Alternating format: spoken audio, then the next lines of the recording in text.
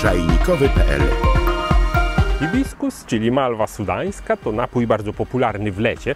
Są obszary na świecie, gdzie jest popularny cały czas. Na przykład Egipt, czyli miejsce, gdzie karkadę, czyli napój właśnie bazujący na hibiskusie, jest napojem narodowym i pija się go cały czas. Czy to na ciepło, czy na zimno, czy z dodatkami, jak kto lubi. Bardzo popularny też jest w basenie Morza Karaibskiego, gdzie zwłaszcza w okolicach Bożego Narodzenia jest składnikiem bożonarodzeniowego napoju.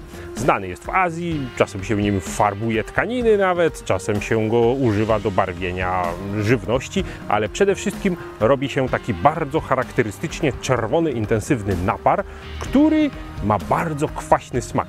Możemy go tutaj z naszego podwórka kojarzyć z różnych owocowych herbatek, gdzie jest on często głównym składnikiem takiej mieszanki, właśnie dzięki temu, że daje kwaśny i czerwony napar.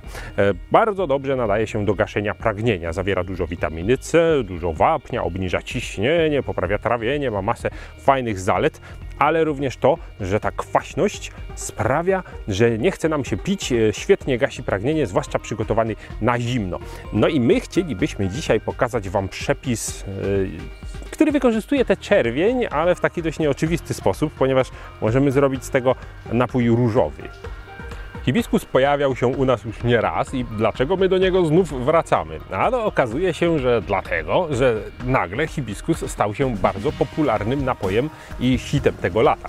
Dzieje się tak, kiedy na przykład jakaś e, sieć międzynarodowa kawiarni wprowadzi sobie napój z hibiskusa na lato i ludzie zaczynają robić sobie z tym zdjęcia, inni oglądają, też chcą takie zdjęcie, przychodzą, ktoś tam urozmaici, ktoś czegoś doda, no i nagle się pokazuje zupełnie nowy napój, który podbija media społecznościowe i nazywa się Pink Tea. Mm, no i tutaj musimy od razu wyprostować, ponieważ pink tea to jest e, nazwa na taką herbatę z Kaszmiru. Może pamiętacie, w Kaszmirze robi się herbatę zieloną z sodą i z mlekiem i ona właśnie robi się taka różowa. Tymczasem to pink tea nie ma nic wspólnego z herbatą, ponieważ bazuje właśnie na hibiskusie. Można by pomyśleć nic prostszego, skoro hibiskus jest czerwony, a mleko białe, kiedy to pomieszamy, będzie różowe.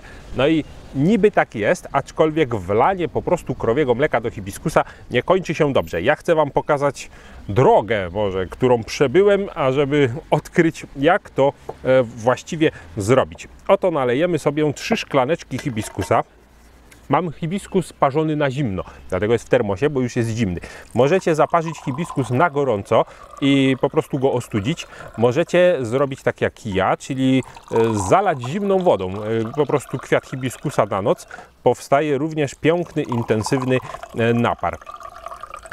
W tych trzech szklaneczkach mam hibiskus i teraz uwaga, co się dzieje z hibiskusem, kiedy wlejemy mleko krowie? Uwaga, eksperyment pierwszy mleko krowie. Robi się różowe i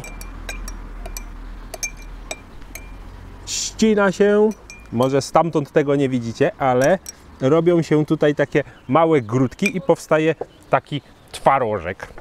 Możemy więc sięgnąć po mleko roślinne, czyli takie wegańskie mleko roślinne i to również tutaj mamy kokosowe. Dlaczego kokosowe? Bo tak w ogóle ten przepis bazuje na mleku kokosowym, ale w tym przypadku moglibyśmy użyć sojowego albo jakiegoś innego, ale zwróćcie uwagę, że mleko kokosowe jest e, najbardziej białe ma najlepszy kolor, który pasuje do hibiskusa. Stąd e, wzięliśmy, wzięliśmy taki no, napój kokosowy, bo nie można powiedzieć mleko kokosowe, chociaż potocznie się mówi mleko kokosowe, tyle że mleko kokosowe to jest znowu coś innego. Więc e, wegański napój kokosowy, czyli wege mleczko, wlewamy do hibiskusa i uwaga, nie wiemy dlaczego, e, myślę, że może chemicy, bo jeżeli poczytacie sobie skład takiego wege mleczka, to tam jest bardzo dużo różnych rzeczy i i nie wiemy dlaczego się to dzieje, ale może chemicy nam powiedzą, ale również się ścina, więc y, no, nie jest spoko.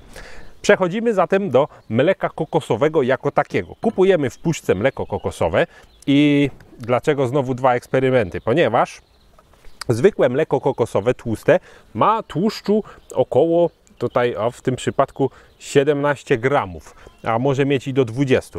A my sięgamy także po mleko chude, które tłuszczu powinno mieć około 6% i to jest lepsze rozwiązanie. Dlaczego? Ja Wam teraz pokażę, co się stanie, kiedy użyjemy tego tłustego.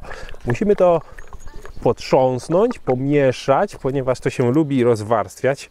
Otwieramy i uwaga, wlewamy do hibiskusa tłuste mleko kokosowe. No, to już zauważcie, wygląda dużo lepiej, dużo przyjemniej. I oczywiście, jak to pomieszamy, to nawet jesteśmy w stanie to równomiernie rozprowadzić. No, myślę, że jakoś, ale ten tłuszcz, zauważcie, wygląda to jak chłodnik taki ze śmietaną, prawda, buraczkowa zupa. Gdybyśmy to wlali na talerz i posypali pietruchą, myślę, że nie jeden to by łyżkę brał i jadł. No, trudno powiedzieć, żeby to wyglądało jak coś, co ma potencjał w mediach społecznościowych. No, czy ktoś wrzuciłby sobie z czymś takim zdjęcie? Nie. Dlatego na koniec wreszcie mm, przepis, jak należy to zrobić, jak należy wykonać taką naprawdę fajną, e, bardzo modną, różową herbatkę na hibiskusie. Wlewamy do shakera, e, żeby było łatwiej to wymieszać, bo nie będziemy łyżką się bawić. Wlewamy do shakera hibiskus.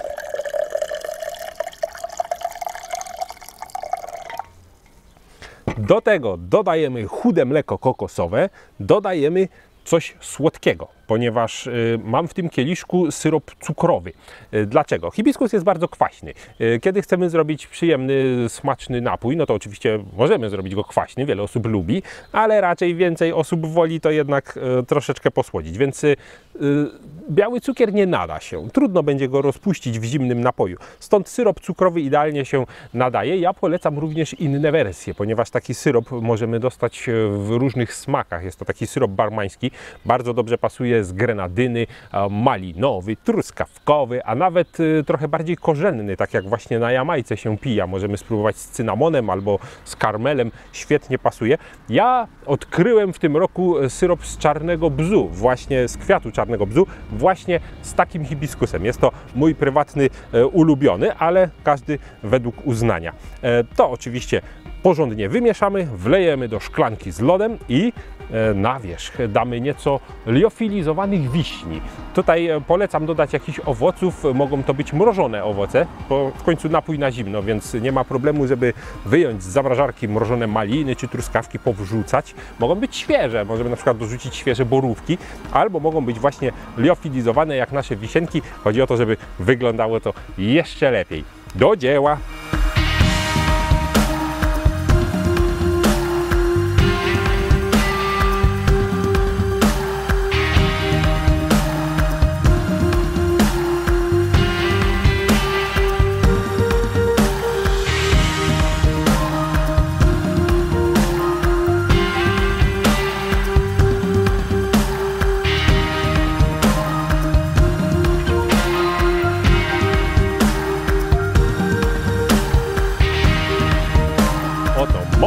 Różowy, orzeźwiający, lodowaty napój, hit tego lata. Wyśmienite. Jeżeli nie macie pomysłu, jak się orzeźwić podczas upałów i czym zaskoczyć znajomych, to już macie. Do zobaczenia na czajnikowy.pl